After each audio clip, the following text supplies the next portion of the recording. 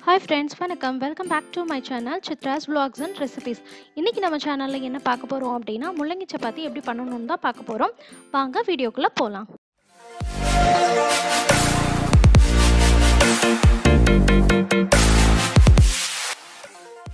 ஒரு கால் கிலோ முள்ளங்கி எடுத்து அதை நல்லா தோல் சீவி வாஷ் பண்ணிவிட்டு கேரட் துருவுற நல்லா துருவி வச்சுக்கோங்க. அதுக்கப்புறம் அதில் இருக்கக்கூடிய சாறு எல்லாத்தையுமே நம்ம புழிஞ்சு எடுக்கணும். இந்த மாதிரி நல்லா சாறு எல்லாத்தையுமே புழிஞ்சுக்கோங்க. அப்போ தான் நமக்கு அந்த முள்ளங்கியோட பேட் ஸ்மெல் வராமல் இருக்கும். இப்போ இது எல்லாத்தையும் நம்ம நல்லா புழிஞ்சு வச்சுக்கலாம்.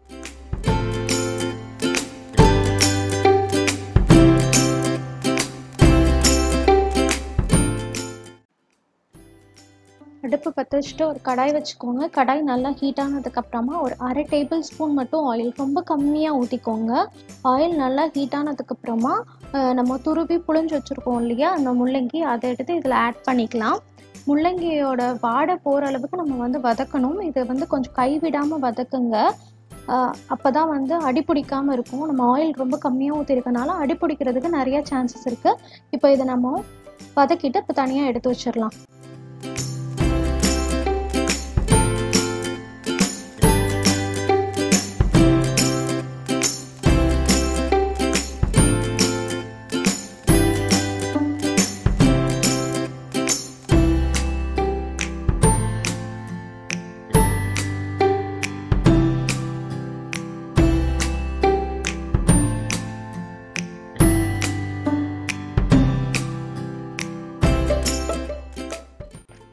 இப்போ முள்ளங்கி நல்லா வதங்கிடுச்சு. உங்களுக்கு கலர் பார்க்க தெரியும்னு நினைக்கிறேன். நம்ம போடும்போது நல்லா பியூர் ஒயிட்டாக இருந்தது. இப்போ ஒரு டூ மினிட்ஸ் நம்ம நல்லா வதக்குனனால அது கலர் நல்லா சேஞ்ச் ஆகிடுக்கு லைட்டாக இப்போ அதை வந்து தனியாக எடுத்து ஒரு பிளேட்டுக்கு நம்ம சேஞ்ச் பண்ணிக்கலாம்.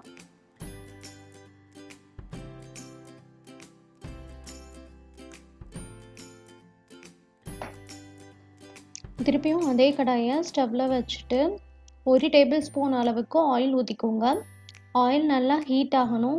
ஹீட் ஆனதுக்கப்புறமா கால் டீஸ்பூன் வந்து கடுகு போட்டுக்கோங்க. கடுகு நல்லா பொரிஞ்சதும் ஒரு கால் டீஸ்பூன் அளவுக்கு சீரகம் சேர்த்துக்கோங்க. சீரகம் நல்லா பொரியணும். பொரிஞ்சதுக்கப்புறமா ஒரு மீடியம் சைஸ் வந்து நான் ஆனியன் பொடி பொடியாக கட் பண்ணி வச்சுருக்கேன். ஆனியன் இப்போ அதில் சேர்த்துக்கலாம். ஆனியன் வந்து ரொம்ப கோல்டன் ப்ரௌனாக வதங்கணும் அப்படின்றதெல்லாம் கிடையாது. அந்த கண்ணாடி பதம் சொல்லுவாங்க இல்லையா? ஸோ ஜஸ்ட் வதங்கினா மட்டும் போதும். ஸோ இப்போ அதை நல்லா வதக்கிக்கலாம்.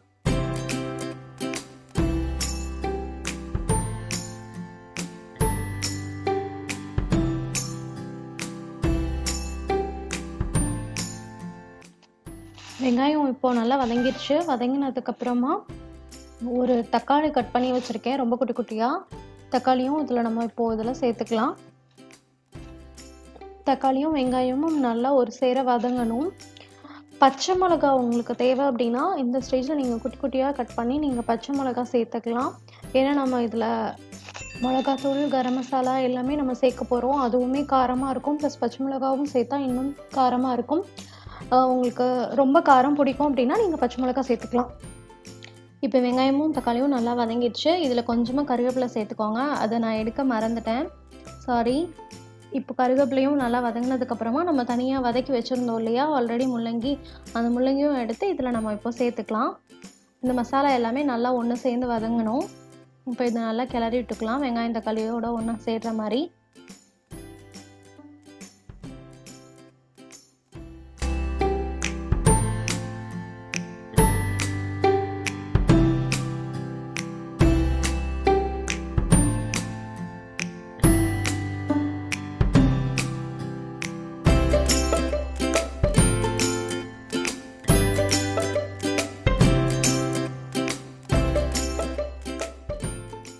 தேவையான மசாலா நம்ம சேர்த்துடலாம். ஜஸ்ட் ஒரு சிட்டிகை அளவுக்கு மஞ்சத்தூள் நான் சேர்த்துக்கிறேன். டீஸ்பூன் அளவுக்கு தனி மிளகாத்தூள் நான் சேர்த்துக்கிறேன். உங்களுக்கு காரம் எவ்வளோ தேவையோ அவ்வளோ சேர்த்துக்கோங்க.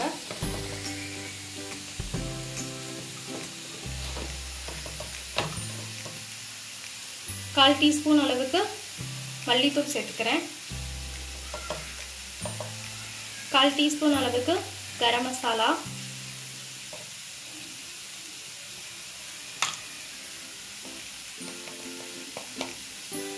கால் டீஸ்பூன் அளவுக்கு ஜீரகத்தூள்.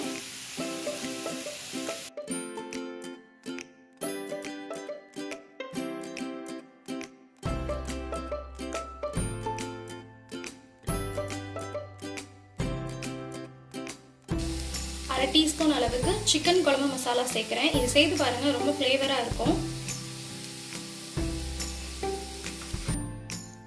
மசாலாக்கு எவ்வளோ தேவையோ அவ்வளோக்கு உப்பு மட்டும் நம்ம சேர்த்துக்கலாம். ஏன்னா நம்ம சப்பாத்தி மாவு பிசையும்போது ஆல்ரெடி அதுலேயும் நம்ம உப்பு சேர்த்து தான் சப்பாத்தி மாவு பிசைஞ்சிருப்போம் ஸோ மசாலாக்கு எவ்வளோ தேவையோ அந்த அளவுக்கு மட்டும் உப்பு சேர்த்துக்கோங்க. நான் எல்லா திங்ஸோட மெஷர்மெண்ட்டும் இன்க்ரீடியன்ஸ் எல்லாமே வந்து நான் டிஸ்கிரிப்ஷன் பாக்ஸில் கொடுத்துருக்கேன். நீங்கள் கீழே செக் பண்ணிக்கோங்க. இப்போ மசாலாலாம் போட்டாச்சு. நல்லா வதக்கிக்கலாம் அதை. தண்ணி எதுவும் ஊற்றக்கூடாது இப்படியே தான் வதக்கணும்.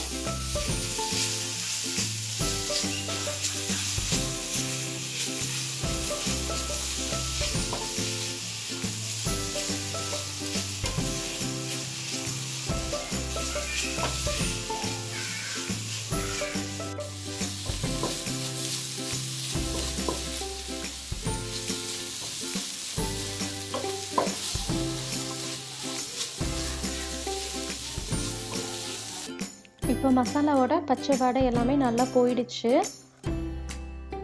அடுப்பை ஆஃப் பண்ணிவிட்டு நமக்கு எவ்வளோ தேவையோ அந்த அளவுக்கு நம்ம கொத்தமல்லி மட்டும் நல்லா சேர்த்துக்கலாம். இந்த ஸ்டஃபிங் வந்து நல்லா ஆறணும். ஆறுனதுக்கப்புறமா நம்ம சப்பாத்தியில் எப்படி ஸ்டஃப் பண்ணி சப்பாத்தி போடுறதுன்னு பார்க்கலாம்.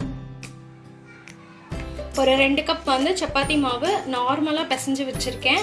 கொஞ்சம் உப்பும் தண்ணியும் மட்டும் ஊற்றி நல்லா சாஃப்டாக பிசைஞ்சு ஒரு அரை மணி நேரம் ஊற வச்சுருக்கேன். இங்கே பாருங்கள் எவ்வளோ சாஃப்டாக இருக்குன்னு. இப்போ இதை எப்போதும் போல் நம்ம சப்பாத்திக்கு எப்படி உருட்டுவோமோ அந்த மாதிரி உருட்டிக்கலாம்.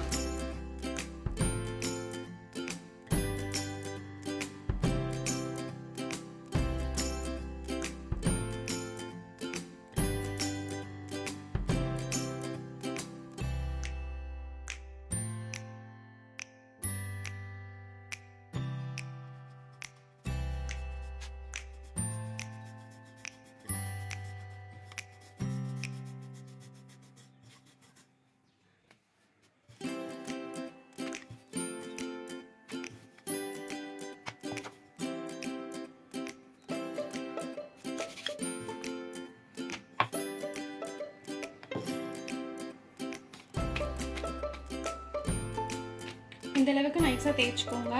அப்போ தான் உள்ளே நம்ம ஸ்டஃபிங் வைக்க போகிறோம் ரெண்டு சப்பாத்திக்கு நடுவில் தான் நம்ம ஸ்டஃபிங் வைக்க போகிறோம் அப்போ தான் மசாலா வெளியில் வராமல் இருக்கும். இப்போ இதே மாதிரி இன்னொரு சப்பாத்தி தேய்ச்சி எடுத்துக்கலாம். ஸோ எவ்வளோ மசாலா தேவையோ அவ்வளோ மசாலா நீங்கள் உங்கள் டேஸ்ட்டுக்கு தகுந்த மாதிரி உள்ளே வச்சுக்கோங்க. இப்போ இன்னொரு சப்பாத்தி தேய்ச்சி வச்சுருந்தோம் இல்லையா? அதை இது மேலே போட்டு எல்லாத்தையும் ஃபுல்லாக சைட் ஃபுல்லாக கவர் பண்ணிவிட்டு ஒரு தடவை மட்டும் இப்படி தேய்ச்சி வச்சுக்கோங்க.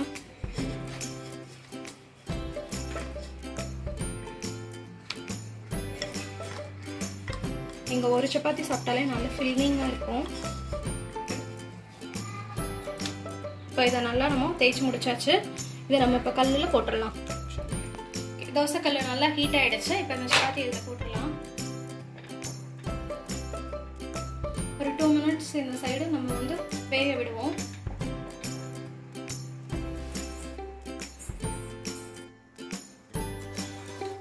இப்போ இது ஒன் மினிட் ஆயிடுச்சு. இப்போ இந்த சைடு ஒரு ஒன் மினிட்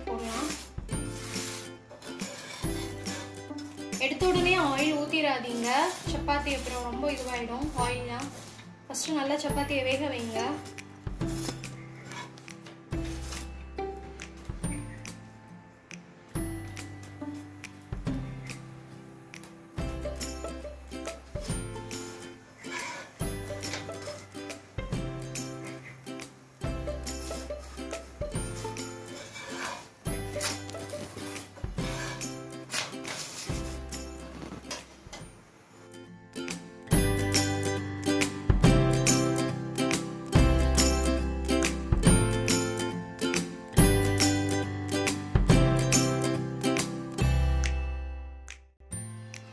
சப்பாத்தி ரெண்டு பக்கமும் நல்லா வெந்துருச்சு. வெந்ததுக்கப்புறமா ஸோ ரெண்டு சைடும் நல்லா ஆயில் ஊற்றிக்கலாம்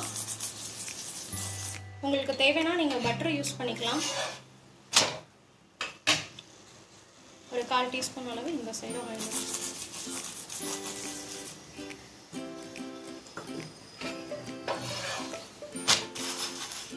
ஓகே இப்போ சப்பாத்தி வெந்துருச்சு. இதை எடுத்து நம்ம பிளேட்டிங் பண்ணிடலாம்.